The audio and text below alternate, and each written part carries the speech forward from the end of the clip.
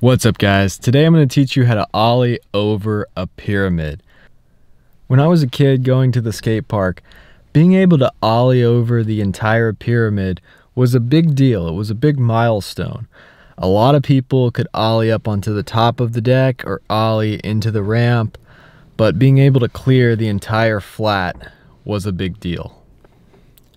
Even if you're trying to clear the whole thing, sometimes your feet just go down right before the landing and your back wheels land on the flat.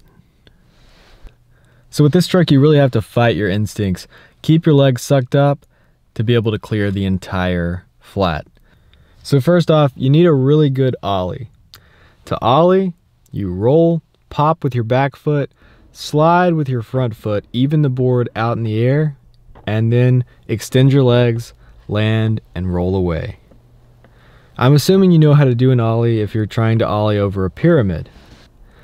Before you try to ollie over the entire pyramid, try ollieing up onto the flat, get comfortable with that, and then practice ollieing from the flat into the other side of the ramp. So after that, try to clear the entire pyramid. You're probably not going to get it the first time, but there's a few steps you can take to make your ollies higher and to make them go farther.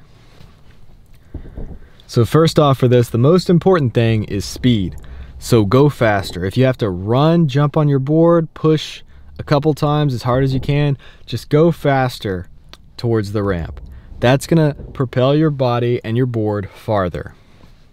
I told myself I was gonna film a drone shot of me running towards the pyramid, jumping on the board and ollieing it, but I guess I forgot. I just got so caught up in skating that I forgot to film uh, running.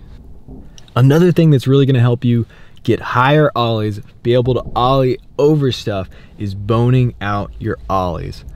So to do this, you're gonna be sucking your knees up higher and you're gonna be dragging your foot a little bit longer. So what causes the board to come up in an ollie is your front foot dragging up the board. That pulls the board up and evens it out in the air.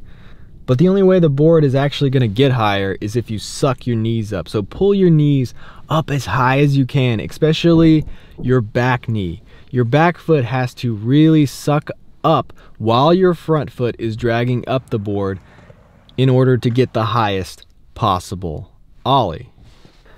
And here's where it gets hard. Actually keeping your legs sucked up long enough to clear the flat. You have to watch your landing and be comfortable enough to land into the transition, into the ramp. They make some of those pyramids without flat, just both the side ramps and a big gap in the middle.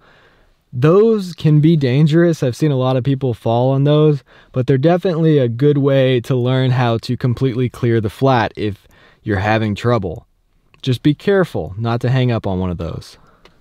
So you're on your toes, you pop really hard, you have your front foot back a little bit more, and you drag it farther up the board than you normally would for a regular ollie. That is going to make your ollie higher. That leads into another point. Any kind of exercise that improves your vertical leap is going to help you ollie higher. So you can look up exercises for basketball players to help them learn to jump higher and working out your legs, just working out your calves is going to help you ollie higher. Other things that could help would be just working out, just being in shape, being fit is going to help you, uh, you know, learn more tricks and be better at skateboarding. Eat right, exercise.